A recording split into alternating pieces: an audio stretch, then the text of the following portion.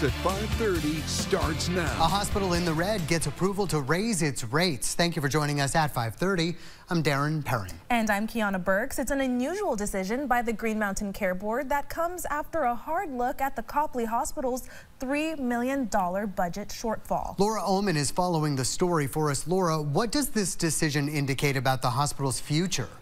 Darren and Kiana, Copley's budget problems show just how much Vermont hospitals are required to take on when the state lacks an array of facilities necessary for Vermonters who need health care before it reaches an emergency level. We're sort of at that tipping point where we're sort of feeling like something bad could happen. We need some financial relief. For nine years, Copley Hospital hasn't been able to break even.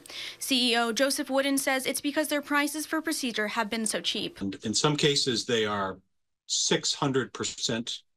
800% lower than other hospitals. Hospital price transparency spreadsheets show an x ray exam of a foot costs more than $400 more at the UVM Medical Center than it does at Copley. In a desperate attempt to save the hospital, the Green Mountain Care Board allowed an extraordinary mid year service rate increase of 7%. Their financial position uh, was significantly concerning enough that I thought they warranted a mid-year increase to ensure their sustainability. Chair of the board, Owen Foster, says Copley's situation was worsened by system-wide problems.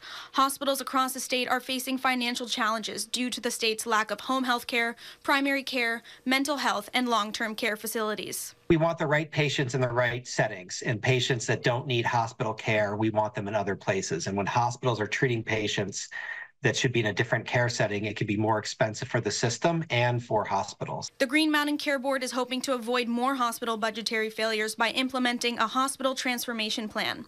Their goal is hospital sustainability to make sure every Vermonter has quality care near and open to them on a hospital transformation project under Act 167, which will have recommendations that will be painful but critical to ensure our system can be sustained.